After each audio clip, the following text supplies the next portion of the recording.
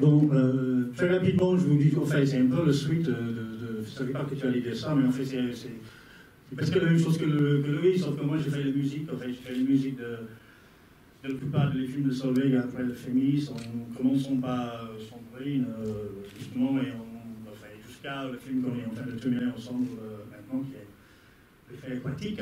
Donc, 15 films, 25 ans. 25 ans de métier, 15 films de collaboration. Et en fait, il y a quelque chose dont, pour moi, c'est la collaboration euh, dans l'amitié, ce qui n'est pas rare, mais qui est poussé à un point assez profond chez elle. Et euh, c'est aussi qu'elle euh, pousse dans ses amis, elle pousse dans le monde, le monde de tous les jours, elle met ça dans son cinéma. Et bon, je vais juste dire deux choses sur les films, sur les musiques de les films qu'on va voir là. Ça veut dire, euh, tous les deux, j'ai fait la musique pour ces deux films en collaboration avec des gens. par hasard, de collaboration, c'est pas toujours comme ça, avec que j'ai fait tout seul, mais là, c'est des collaborations. Le premier, euh, euh, ailes, en fait, euh, elle a vu, elle était dans l'avion aller en Islande, elle a lu un truc dans le In-Flight Magazine sur un groupe qui apparemment était, je ne sais pas quoi. Donc il me dit, est-ce que tu as entendu ça euh, Donc euh, je regarde un petit peu, j'écoute ça, je dis, ça c'est pas mal ça, voilà.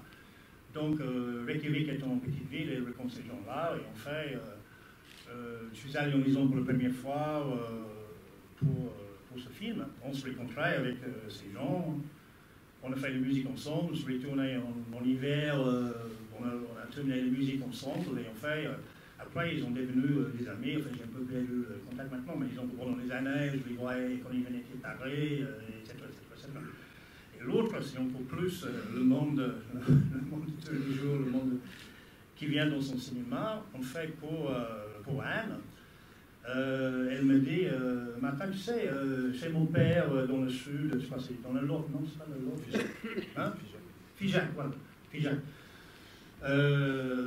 Euh, son père, euh, donc, il avait un certain âge, il habitait là, et il avait un jeune mec euh, gallois, Dan, Daniel Williams, qui s'appelle maintenant William Daniels, en moins sur Facebook. et c'est un mec qui chante des chansons, écoute ça, qu'est-ce que tu penses? C'est vraiment le mec qui était chez son père. Donc j'écoute son chanson, je dis, mais, excuse-moi pour l'expression, putain, c'est super. Quoi. Donc, euh, en fait, on se rencontrait. Euh, il a écrit une chanson que je trouve très beau. Je l'ai un peu arrangé ça, il a enregistré ça chez moi. On a collaboré euh, sur les choses. Et ça, c'est la musique de le, deuxième film. Anne, ici présent, et les tremblements.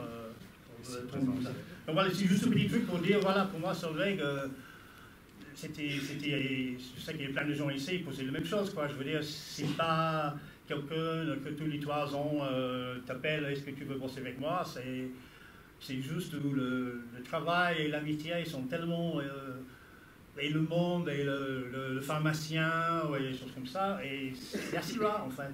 À ce point-là c'est assez rare. C'est une des spécificités de, de de Solveig et son, de, son, de son repos euh, très profondément ancré euh, dans le monde réel et cette euh, façon la veille de, prendre ça, euh, toute chose qui lui semblait avoir quelque chose à voir avec son univers, et fabriquer quelque chose avec ça qui est, qui est devenu, on peut dire qu'on fait toujours ça, à la fin documentaire en fiction, mais enfin, à ce point-là, et même dit voilà, il y a un mec chez mon père, bah, il écrit des chansons, enfin, je trouve ça génial, je trouve ça génial, voilà, ça. Voilà. Merci.